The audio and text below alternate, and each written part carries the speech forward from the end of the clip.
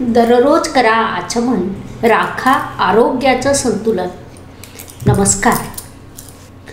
मी Astroguru doctor Jyoti Joshi सर्व ज्योतिषशास्त्रप्रेमी व अभ्यासकांचं मनपूर्वक स्वागत करते.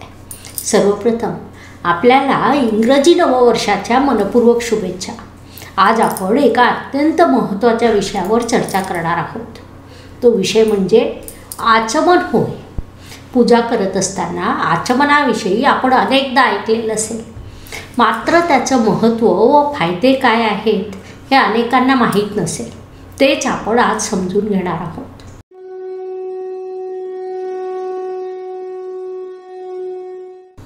आपल्या संस्कृतीत आपल्या शास्त्रात आपल्या परंपरेत अशा अनेक गोष्टी आहेत की ज्यांच्याकडे कर्मकांड म्हणून आपण दुर्लक्ष करतो. मात्र प्रत्यक्षात त्यामागील शास्त्रीय कारण समजून घेतले असता ती गोष्ट अत्यंत महत्त्वाची ठरते. अर्थात इथे मला कर्मकांडातील वाईट गोष्टीचं समर्थन करायचं नाही. मात्र हेही तितकंच खरं आहे की प्रत्येक गोष्टीला कर्मकांड म्हणून नाव ठेवू नये. त्याकडे दुर्लक्ष करू नये. कारण त्यामुळे खूप चांगल्या आणि अत्यंत उपयुक्त गोष्टी ज्या कधी काळी आपल्या परंपरेच्या भाग होत्या त्या विस्मृतीत चालल्या आहेत. त्यापैकीच एक गोष्ट म्हणजे आचमन होय. पूजा करत असताना आपण सहज हातावर पाणी घेऊन गुरुजी सांगतात त्याप्रकारे आचमन करतो. परंतु त्याचं महत्त्व गांभीर्य हे अनेकांना माहीत नसतं. शास्त्रीयदृष्ट्या आचमन खूप महत्त्वाचं आहे.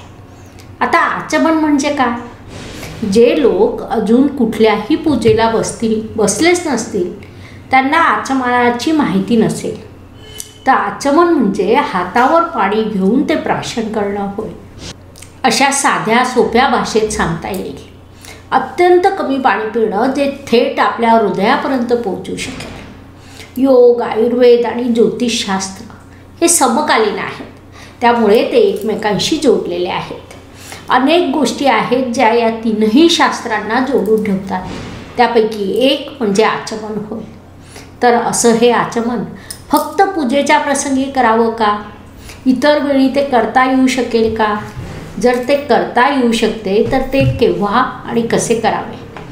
त्याचं शास्त्रीय महत्त्व व लाभ काय आहे?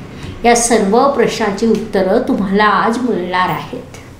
त्यामुळे हा भाग शेवटपर्यंत बघायला विसरू नका. तसंच ही शास्त्रीय माहिती जर तुम्हाला आवडली तर तिला शेअर करायला देखील विसरू नका. जेणेकरून इतरांपर्यंत पोहोचू शकाल. अत्यंत महत्त्वपूर्ण बाब म्हणजे तुम्ही जर अजूनही आपल्या या यूट्यूब चॅनलला सबस्क्राईब केलेलं नसेल तर आज अवश्य करा. ज्योतिषशास्त्रातील नवनवीन माहिती घेऊन आम्हाला तुमच्यापर्यंत पोहोचता येईल. बेल आयकॉन दाबायला विसरू नका. म्हणजे नवीन व्हिडिओ अपलोड झाला की लगेच तुम्हाला कळू शकेल. ज्योतिषशास्त्रावर माझी सहा पुस्तकं प्रकाशित झालेली आहे ज्यात शास्त्रीय माहिती अत्यंत साध्या आणि सोप्या भाषेत उपलब्ध आहे.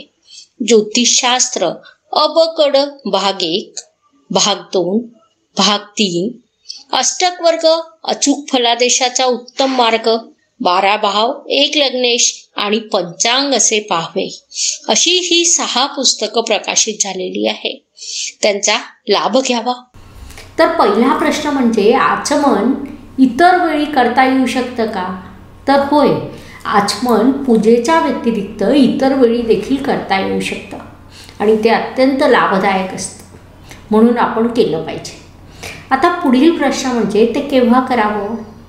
तर पहाटे झोपेतून उठल्यावर भूक लागल्यावर अभ्यासानंतर ताप असताना उचकी लागल्यावर आचमन करणं अत्यंत लाभदायक ठरतं.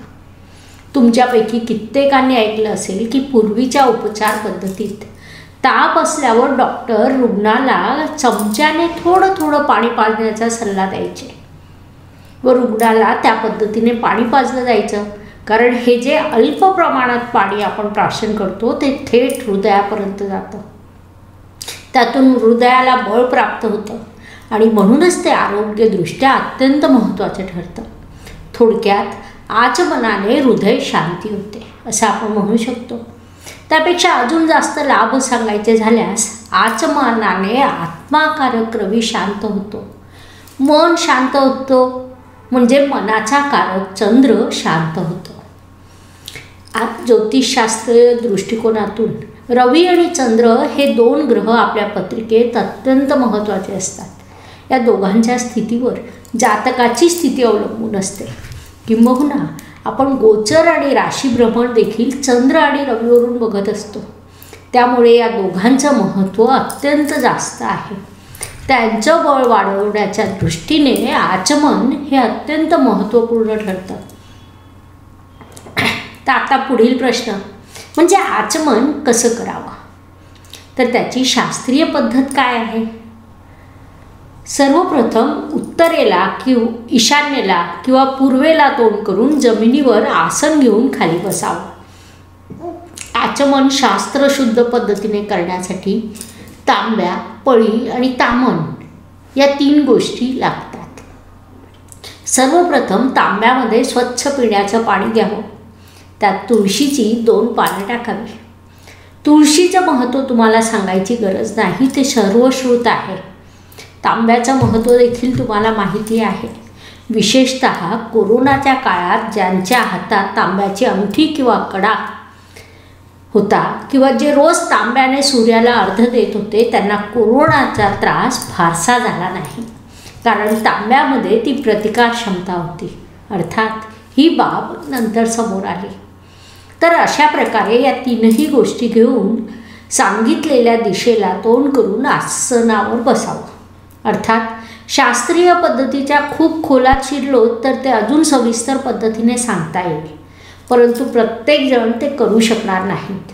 त्यामुळे सामान्यरित्या प्रत्येकाला करता येईल अशी पद्धत मी तुम्हाला सांगणार आहे. कारण प्रत्येकाने अगदी सहज जरी आचमन केलं तरी त्याचे होणारे फायदे हे दीर्घकाळ लाभदायक ठरतात. तर छानपैकी सुखासनात बसावं. त्यानंतर पळीने तळ हातावर पाणी घ्यावं. यावेळी तळ हाताला तुम्ही गोकर्णाचा आकार देऊ शकता. पहिल्यांदा तळ हातावर पाणी घेतल्यानंतर ओम केशवाय नमाहा मंत्र म्हणायचं आणि ते पाणी प्राशन करायचं. ते थोडंसंच पाणी असल्यामुळे खूप खाली म्हणजे पोटापर्यंत न पोचता ते हृदयापर्यंत पोहोचून थांबतं. दुसऱ्यांदा तळ हातावर पाणी घेतल्यानंतर ओम नारायणाय नमहा हा मंत्र म्हणायचा आणि पाणी प्राशन करायचं. तिसऱ्यांदा पाणी घेतल्यानंतर ओम माधवाय नमहा हा मंत्र म्हणायचा आणि ते पाणी प्राशन करायचं. ही सर्व प्रक्रिया अत्यंत सावकाश शांती आणि श्रद्धापूर्वक करायची. तसंच आचमन करताना फक्त तीन वेळेस पाणी प्राशन करायचं आहे. चौथ्यांदा तळ हातावर पाणी घेऊन ओम ऋषिकेशाय नमहा हा मंत्र म्हणायचा आणि ते पाणी तांबणामध्ये सोडून द्यायचं. अशा प्रकारे आचमन करायची ही साधी सोपी सरळ पद्धत आहे. या पद्धतीने आचमन अगदी कुणीही करू शकतो. महत्त्वाची बाब म्हणजे याला वेळ देखील फार लागत नाही. अवघ्या दोन ते तीन मिनटात हे पूर्ण होऊ शकतं. मात्र अट फक्त इतकीच की सांगितलेल्या पद्धतीनुसार श्रद्धापूर्वक हे करायचे आहे. त्याचे शुभ परिणाम तुम्हाला प्राप्त होतील. अर्थात चमत्कारासारखे झटपट परिणाम याचे प्राप्त होत नाही.